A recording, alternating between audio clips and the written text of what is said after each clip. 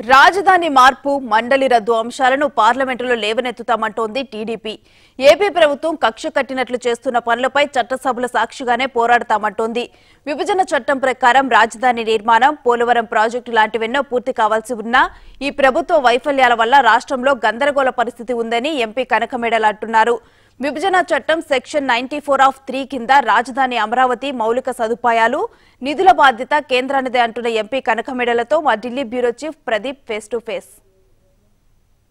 Parliament budget సమావేశాలు నేటితో ప్రారంభం కాబోతున్నాయి. రాష్ట్రపతి ప్రసంగంతో ప్రారంభం కాబోతున్న ఈ సమావేశాలు ఏప్రిల్ మూడవ తారీఖు వరకు కూడా జరగబోతున్న నేపథ్యంలో ఆంధ్రప్రదేశ్లో జరుగుతున్న పరిణామాలు ముఖ్యంగా రాష్ట్ర రాజధానిగా అమరావతి ఒక భవ్యమైన నిర్మాణం కోసం ప్రయత్నం చేస్తున్న ఈ పరిణామాలను మార్చుతూ రాష్ట్ర ప్రభుత్వం ఏకపక్షంగా మూడు రాజధానులుగా మార్చేందుకు నిర్ణయం తీసుకోవడంతో పాటుగా ఆ క్రమంలో అడ్డొచ్చిందన్న సాకుతో మండలినే రద్దు చేసే నిర్ణయం తీసుకున్న పరిస్థితుల నేపథ్యంలో పార్లమెంటు వేదికగా ఆంధ్రప్రదేశ్ రాజకీయాలు మరింత కీలకం కాబోతున్నాయి కాబట్టి ఈ క్రమంలో తెలుగుదేశం పార్టీ ఈ ఈ అంశాలపైన ఏ రకంగా పార్లమెంట్ వేదికగా స్పందించబోతుందో మనతో మాట్లాడడానికి ఆ పార్టీ రాజ్యసభ సభ్యులు కనకమేడల రవీంద్ర కుమార్ గారు ఉన్నారు. రవీంద్ర కుమార్ గారిని అడిగి మరిన్ని వివరాలు తెలుసుకుందాం. సార్ రాష్ట్ర స్థాయిలో అయితే ప్రజలు ఉద్యమం చేస్తున్నారు. పార్టీలు కూడా ప్రభుత్వ నిర్ణయాన్ని వ్యతిరేకిస్తున్న పరిస్థితి కనిపిస్తుంది. ఇటువంటి పరిస్థితి నేపథ్యంలో పార్లమెంట్ సమావేశాలు జరగబోతున్నాయి కాబట్టి ఇక్కడ మీ వ్యూహం ఏ రకంగా ఉండబోతుంది? ఏ ఏ అంశాలపైన ప్రధానంగా మీరు దృష్టి సారించబోతున్నారు?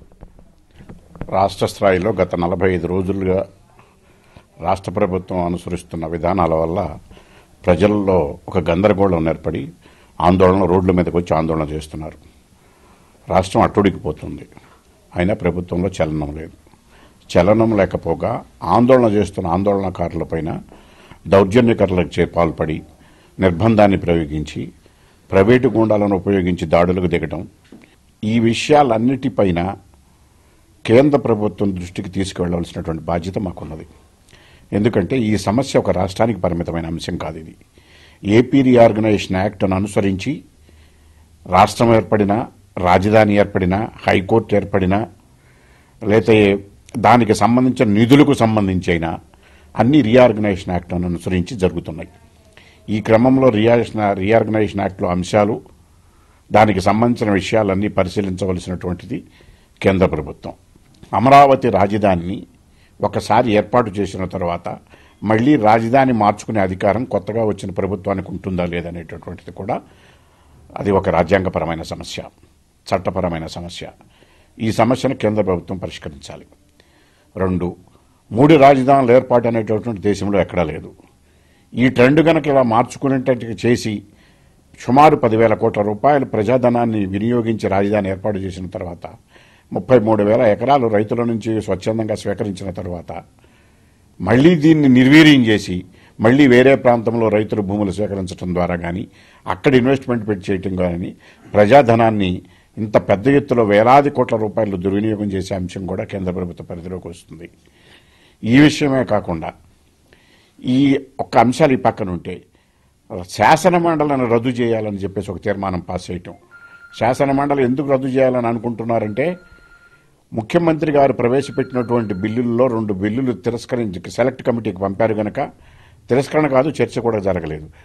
సెలెక్ట్ కమిటీకి పంపినందువల్ల చైర్మన్ గారి మీద లేదా తెలుగుదేశం పార్టీ మీద నాయకుల మీద గుర్రు పెట్టుకుని మండలిని కూడా రద్దు చేసి ఇమీడియట్గా కేంద్ర ప్రభుత్వం దాన్ని తో పని లేకుండానే తెల్లారేపాటికి అయిపోతుంది అన్నట్టుగా ప్రజలకి భ్రమ కల్పించి వాళ్ళు చర్య తీసుకున్నారు. ఈ క్రమంలో వారు చేస్తున్న వ్యాఖ్యలు కొన్ని చూస్తుంటే కనుక కేంద్ర ప్రభుత్వానికి ఈ విషయంలో పెద్దగా పాత్ర ఉండదు. రాష్ట్ర ప్రభుత్వం శాసనసభ రికమెండ్ చేసి పంపించింది తీర్మానం కాబట్టి ఖచ్చితంగా ఆమోదించాలంటున్నారు.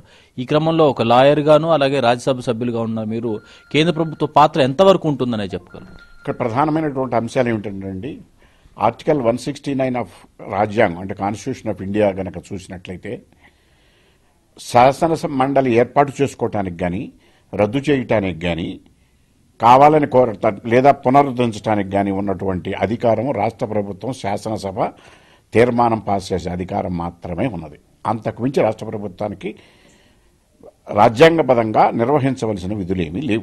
ఒక తీర్మానం మాత్రమే చేయగలదు. మిగతా చేయవలసిందంతా కేంద్ర ప్రభుత్వం. రాజ్యాంగ అధికారం మొత్తం దేశవ్యాప్తంగా రాజ్యాంగాధిపతి అయినటువంటి రాష్ట్రపతి గారికి ఉంటుంది. లేదా సంస్థలైనటువంటి పార్లమెంటుకు ఉంటుంది రాజ్యాంగ సంస్థ అంతేకాని రాష్ట్ర ప్రభుత్వానికి ఉండదండి. అది కరెక్ట్ కాదు. ఒకవేళ వాళ్ళు తీర్మానం పాస్ చేసిన తర్వాత దాన్ని కంపల్సరిగా ఆమోదించాలా లేదా అనేటువంటి అంశాన్ని పరిశీలించినట్లయితే ఆర్టికల్ వన్ సిక్స్టీ నైన్ ఏమి చెబుతుందంటే కేంద్ర ప్రభుత్వము ఆ తీర్మానాన్ని యాక్సెప్ట్ చేయవచ్చును చేయకపోను వచ్చును తప్పనిసరిగా చేయాలని రాజ్యాంగంలో ఆర్టికల్ వన్ సిక్స్టీ నైన్లో లేదు.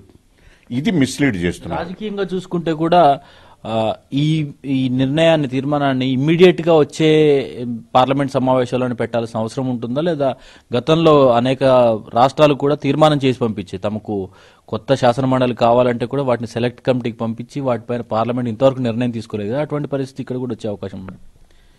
మనకి నిర్దిష్టమైనటువంటి రూల్స్ లేనప్పుడు చట్టాలు లేనప్పుడు కొన్ని అంశాలపైన ఇంతకుముందు ఏమి జరిగింది అనే ప్రెసిడెంట్ చూస్తారు.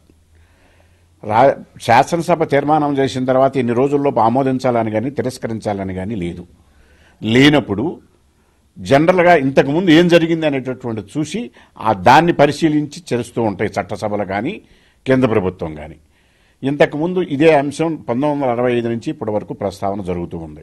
కొన్ని రాష్ట్రాల్లో ఏర్పాటు చేశారు కొన్ని రాష్ట్రాల్లో తిరస్కరించారు. ఇప్పటికీ కూడా రాజస్థాన్లో శాసనమండలి ఏర్పాటు చేయాలని టూ థౌజండ్ ట్వెల్వ్లో తీర్మానం ముందుకు చేసి తీర్మానాన్ని రాజ్యసభ పంపించినప్పుడు రాజ్యసభ దీన్ని సెలెక్ట్ కమిటీకి పంపించింది టూ థౌజండ్ థర్టీన్లో రాజస్థాన్కి సంబంధించి. థర్టీన్లోనే రిపోర్ట్ ఇచ్చింది సెలెక్ట్ కమిటీ సెలెక్ట్ కమిటీ కాదు standing committee department related standing committee. ఆ స్టాండింగ్ కమిటీ రిపోర్ట్ ఇచ్చిన తర్వాత ప్రధానమైనటువంటి సూచనలు చాలా ఇంపార్టెంట్ చేసినాయి. రెండు ప్రధానమైన సూచనలు ఏమిటంటే శాసనమండలి ఏర్పాటుకు రికమెండ్ చేసింది.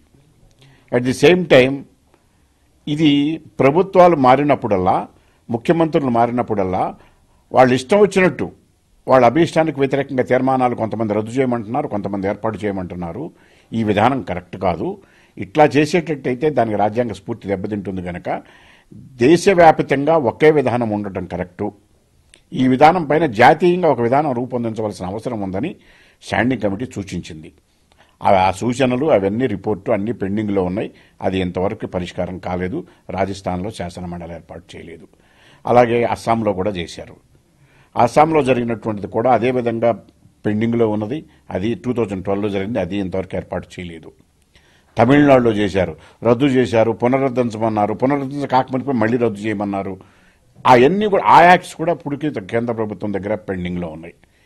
ఇన్ని పెండింగ్లో ఉండగా అలాగే ఒరిస్సాలో శాసనమండలి తీర్మానం చేసింది కావాలని చేసింది. అది ఇంకా అది పెండింగ్లోనే ఉన్నది. ఇట్లా కొన్ని చేయమన్నవి పునరుద్ధరించవలసినవి అన్ని పెండింగ్లో ఉండగా ఆగమేఘాల మీద ఆంధ్రప్రదేశ్ ముఖ్యమంత్రి గారు తెల్లారపాటికి రద్దు కావాలని కోరుకుంటున్నారు కాబట్టి ఇది రద్దు చేయాల్సినటువంటి అవసరం కేంద్ర ప్రభుత్వానికి విధిగా లేదు. రాజ్యాంగ ప్రకారం కూడా లేదు. కే- రాజ్ కేంద్రం కావాలనుకుని చెయ్యవచ్చు వద్దనుకుని మానేయవచ్చు. అది కేంద్ర ప్రభుత్వం ఇష్టం మీద ఆధారపడి ఉంటుంది. ఇష్టాయిష్టాలు అనేటటువంటిది జనరల్గా పోకుండా కేంద్ర ప్రభుత్వం కొంచెం జాతీయ దృక్పథంతో ఆలోచిస్తుంది కనుక దాన్ని పరిశీలించాలా లేదా అనేది ఇంతకు ముందుగా ఉన్నటువంటి ప్రెసిడెంట్స్ని ఆధారంగా చేసుకుని చేస్తారు. అందులో ఇది కూడా ఒకటి భాగం అవుతుందని మా భావన. మొత్తంగా ఇది కనకమేడల రవీంద్ర కుమార్ గారు చెప్తున్న తెలుగుదేశం పార్టీ రాష్ట్రానికి సంబంధించి అమరావతి రాజధానిని విభజించే క్రమంలో కానివ్వండి లేకపోతే ఏకపక్షంగా రాష్ట్ర ప్రభుత్వం మండలిని రద్దు చేసే విషయంలోనూ రాష్ట్ర విభజన చట్టంలో ఇచ్చిన హామీలన్నింటి కూడా నెరవేర్చడంలో స్ఫూర్తి ఏమాత్రము తగ్గకుండా తెలుగుదేశం పార్టీ లోక్సభలోనూ రాజ్యసభలోనూ కూడా అదే స్ఫూర్తితో ప్రభుత్వం నుంచి రాబట్టేందుకు ప్రయత్నాలు కొనసాగిస్తామని చెప్తాను కెమెరామెన్ సంజయ్తో ప్రదీప్ టీవీ